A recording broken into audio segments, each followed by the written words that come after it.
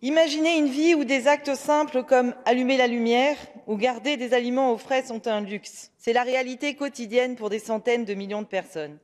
L'accès à l'énergie propre et fiable est un moteur de développement. L'accès à l'électricité permet de développer l'éducation des enfants, de garantir des soins médicaux de qualité et des moyens de subsistance pour les communautés. C'est aussi un vecteur important pour l'égalité femmes-hommes.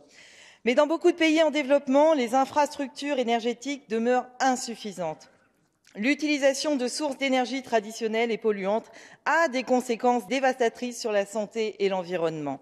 L'Union européenne investit massivement dans des projets énergétiques en Afrique, mais nous avons mis l'accent sur de grandes infrastructures, négligeant souvent les besoins locaux.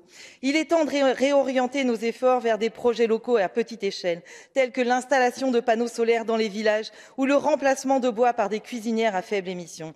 Nous devons mettre fin à tout financement de projets d'énergie fossile et privilégier les énergies renouvelables respectueuses des communautés locales et du climat. Nous devons agir maintenant en travaillant ensemble, en soutenant l'innovation et en finançant des projets durables. Nous pouvons garantir que l'accès à l'énergie ne soit plus un luxe, mais une réalité pour tous. L'avenir énergétique des pays en développement nous concerne directement.